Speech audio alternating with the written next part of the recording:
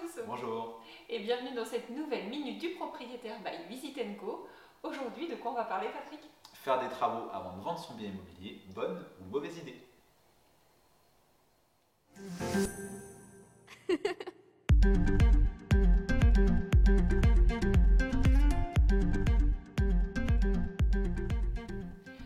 Le moment de vendre votre maison ou votre appartement et vous vous posez la question, est-ce une bonne idée de faire des travaux pour mieux le vendre? Oui, les propriétaires se posent souvent cette question, notamment quand leur bien n'est plus vraiment au goût du jour, pour justement en tirer le meilleur prix.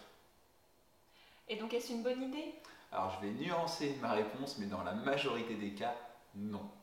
Pourquoi non? Car bien souvent, surtout pour des travaux coûteux, vous ne récupérerez pas plus que le montant investi. Prenons par exemple un exemple qu'on a fait en minute du propriétaire il y a quelques jours, la mise aux normes d'un assainissement. Vous allez revendre votre bien, vous vous dites que votre assainissement n'est pas aux normes et que ce serait mieux qu'il le soit pour la vente, c'est plutôt une mauvaise idée. La mise aux normes d'un assainissement, on l'a vu, ça coûte en général entre 8 et 10 000 euros et vous ne récupérerez pas un centime de plus que cette somme que vous allez investir et vous allez même d'ailleurs proposer votre bien à un tarif du coup plus élevé si vous mettez l'assainissement aux normes et qui dit tarif plus élevé dit potentiellement peut-être un peu moins de clients. L'exemple est aussi valable si par exemple vous avez envie de changer vos fenêtres avant de vendre, on vous conseillera également de ne pas le faire. Ok, donc tu nous parles là de gros travaux, mais qu'en est-il des rafraîchissements type homestaging? Alors là, si vous maîtrisez le coût de la dépense, ça peut être une bonne idée, notamment si vous faites vous-même.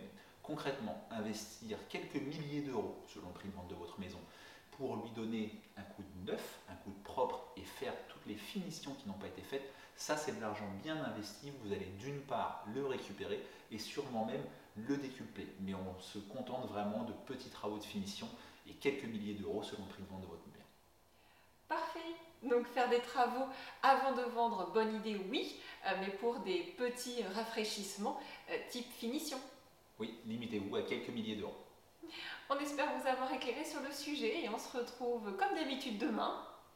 Pour un sujet financier, comment obtenir le meilleur taux bancaire Génial. À demain. Salut, à demain